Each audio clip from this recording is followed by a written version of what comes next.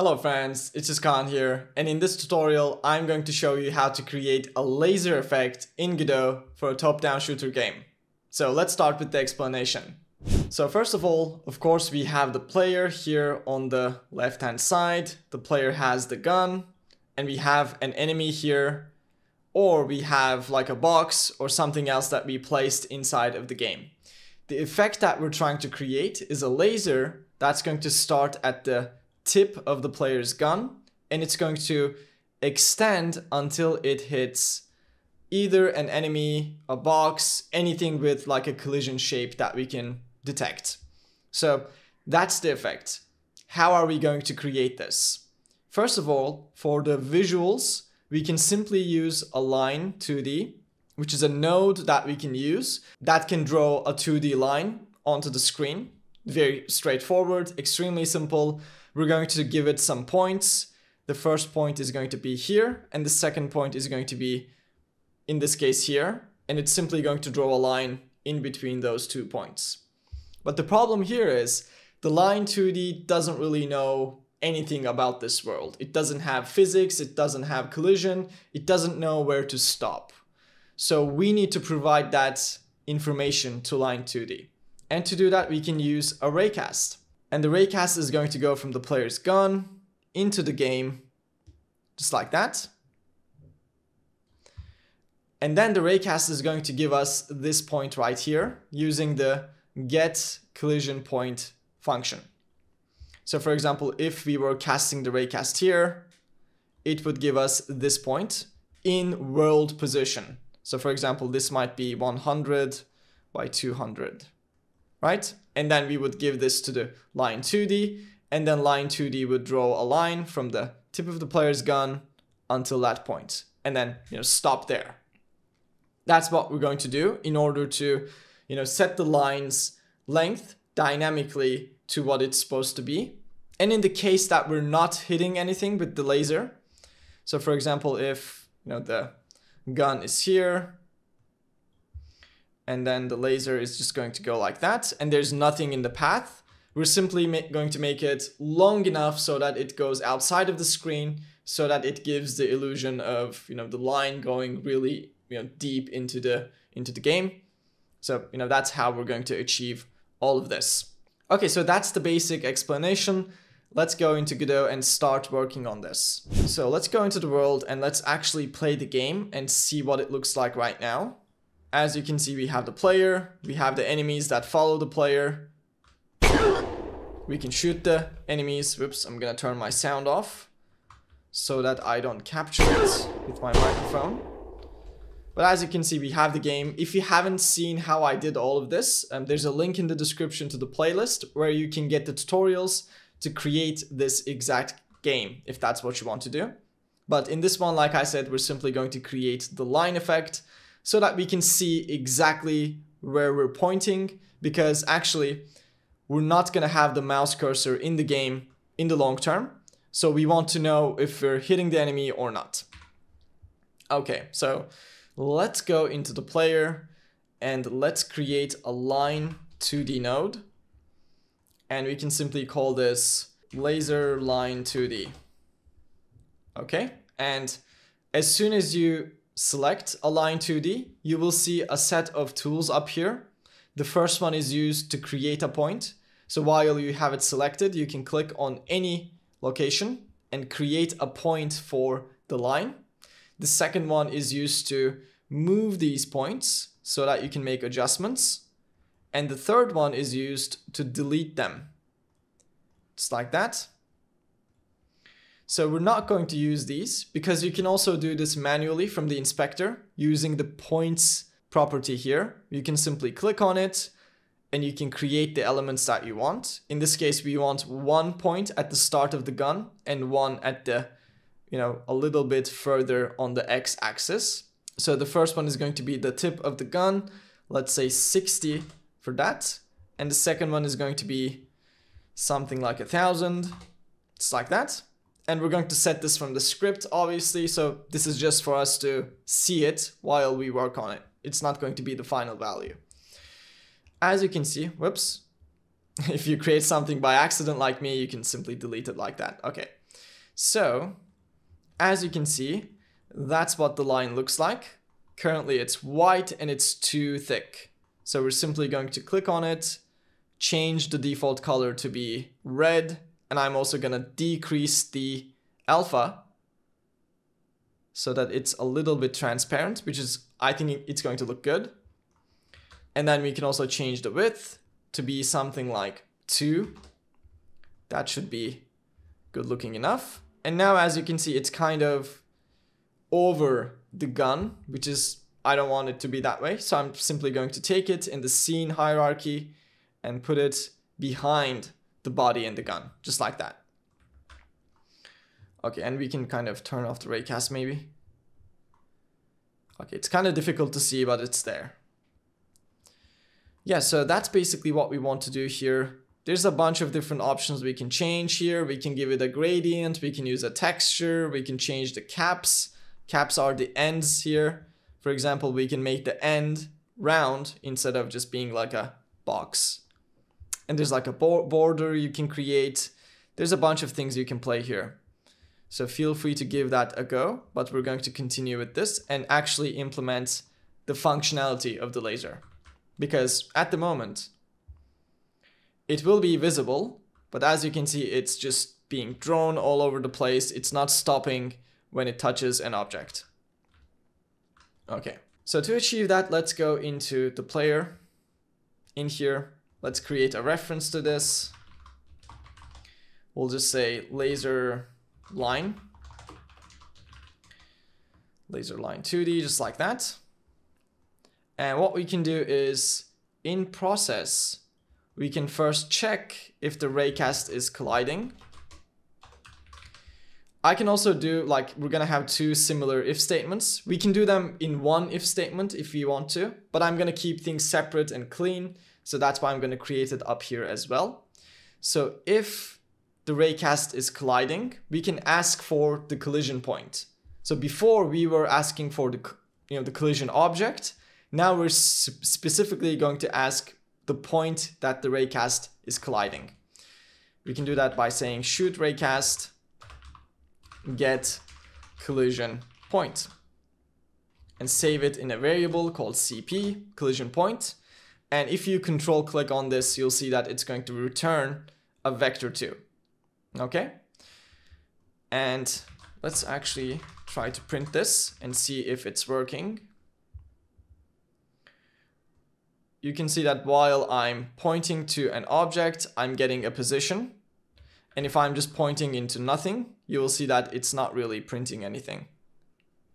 But if I am you'll see that we'll get that point. Okay now you might just think you can take this collision point and set it to be the laser's second point here, but it's not going to work that way. And that's because that collision point is in world space. So it's the position in the entire world. But these laser positions here, the points, as you can see, it's 60 by 0, 1000 by 0. These are local to the player. These are in this player scene. So we need to take the world position, the collision point, and turn it into the local, you know, coordinate space for the player. So to do that, we can simply use a function called to local. Very simple. We don't really need to get, you know, mathematical with this. We can just use this function and it's done. Just like that. And you can control click and, you know, read its description and stuff if you really want to. Now we can say, let's say, what did we call it? Laser line points which is this guy right here, which is just like an array of vector 2's. And since it's an array, we can get the, the second element here, the one that we want to change, by saying brackets 1. Because the first element is 0, the second element is 1, the index. So that's how we can get that. And then we can set that to be local, localized collision point. Okay. Now, as you can see, we basically have the effect working. If we get closer, farther away, you can see that it's working. Same with the box here. As you can see, the only problem is when we're not pointing to anything, it's just using like the last position or something else that's left in there. To fix that, we can simply say else. If the raycast isn't colliding anymore, we'll simply set this to be vector 2 1000 by 0, the default value we had. Now it should be fixed. And as you can see, it is. Yeah.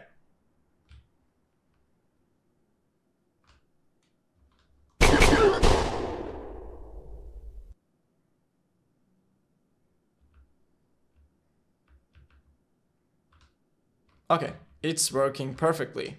So yeah, very important to set this to be local, otherwise you're just gonna get like a crazy laser that's not accurate at all, which is not what we want. So that's the basic effect, and there's a lot of things we can do with this. First of all, obviously we can make it look nicer, which we're going to do a little bit now. And we can also make the code a little bit more optimized as well. At the moment, we're setting this variable all the time over and over and over again in the process, which is probably not a good idea. So in this case, you should probably just set this once and that's it because it's never going to change if the raycast isn't colliding. And for this case, we should only set it if the laser actually moved because if it hasn't moved, there's no reason to set the same, you know, collision point over and over again to it, basically. Yeah, I'm not going to do those just now because, you know, I don't want to make this tutorial 60 minutes long. So it's just something for you to do. Maybe after the tutorial, you can give that a go if you want to. So now let's try to make it look a little bit nicer. So there's a couple things we can do to do that. The first one is using some particle effects. We would basically create some at the start here to signify that the laser is being emitted. And then we would put some at the end to signify the laser is hitting something. And then in the middle, we would also, you know, emit some particles um, to make it look nice, but not really gonna get into that. That can be a separate tutorial on its own because it's gonna take some work to set that up. Um, it's gonna be dynamic from the script as well. So if you want to see that, leave a comment and I'll try to make a video to add some particle effects to this laser. But what I want to do in this one is I want to use an animation to animate the width of the laser when we you know, turn it on so that we have something like a nice looking effect with it. So first of all, we're going to implement turning the laser on and off, and then we're going to create the animation. So first of all, let's create an input action, and let's just call this toggle laser and we'll give this the right mouse button. And then in the player, let's see. Up here we can just say if input is action just pressed, toggle laser.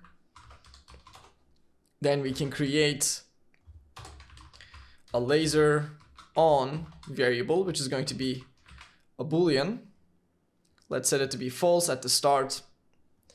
And then we'll just say in the toggle here, we'll set it to be the opposite of whatever it was. So if it was true, we're going to set it to be false. If it was false, we'll set it to be true. Toggling it basically. And then we'll say laser line visible equals laser on. And then we can control the visibility of the laser and when we play at the start, it's not gonna work because it should be, you know, turned off at the start. But then if you start toggling it, it's gonna work after that. Okay, it's working. And now simply at the start in ready, we simply need to say, we need to do the same thing again, basically. And we can turn this into a function, but for now I'm just gonna leave it like this. And now when we start, the laser will be off. And when I press the right mouse button, it's going to turn on. And adding a sound effect to this will also make it, you know, much, much nicer. Just like we did with the, you know, the gun and the enemy hurt effect, which was in a different tutorial. if you want to take a look at that, take a look at the description. so, um, okay, so we have the toggling. Next up, we're going to simply animate the width. Let's create an animation player here. Let's create a new animation. We'll just call this laser turn laser on. And this is going to be very short, like 0.2 seconds or something like that. Let's take a look at it and we'll set the snap to be 0.01 so that we can really surgically move the needle here, just like that. And then at the start, we're simply going to click on the laser node. We're going to set the width to be zero, key this, and then after 0.3, 0.4, after this much, whatever that is, we'll set this to be something larger than what we want it to be, like 4 pixel. Key that, and at the end, we'll bring it back down to 2 pixels. And key that as well. Which is going to look like this. It's kind of difficult to see it, but it's going to look good. And we also created some reset tracks. What's the width here? For the reset, let's just make it two. And key that, that's fine. We'll go back into turn laser on. Okay. So we have the animation. Let's play it. Let's create a reference and we are going to play it when we toggle it. So if it's visible, we'll say animation player play, turn laser on. Let's see what that looks like. As you can see, it's not that huge of an effect but it does add just a little bit of spice. And maybe actually we can make it a little bit more dramatic with this keyframe right here. With the width, we can make it 6 to really, and key that, of course, don't forget, really emphasize that this is being turned on, just like that. Yeah.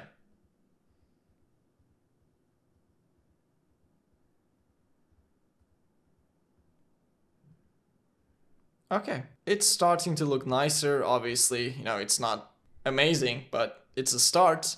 And like I said, you can animate all of these things, like the, the whatever, the border, you can add a border, you can do stuff with the cap, you can do stuff with the fill here.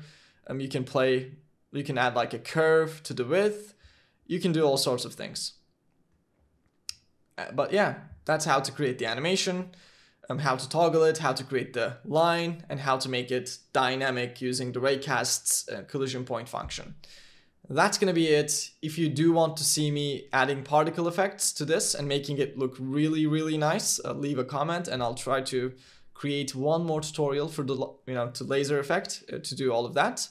Um, but besides that, um, if you have any other feedback, anything you want me to do in terms of a tutorial, a video, leave that as a comment as well. If you like this type of tutorials, uh, make sure to subscribe and also at the same time join my email list to get updated on the work that I do. So there's a link for those in the description. So take a look and um, take care. I'll see you in the next video.